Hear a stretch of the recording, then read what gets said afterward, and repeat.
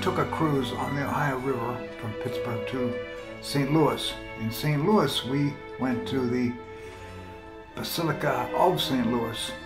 And as you can see, the mosaics are outstanding.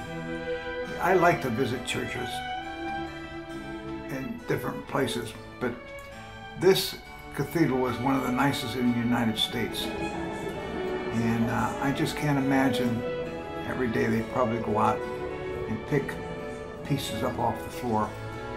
But um, I hope you enjoy it.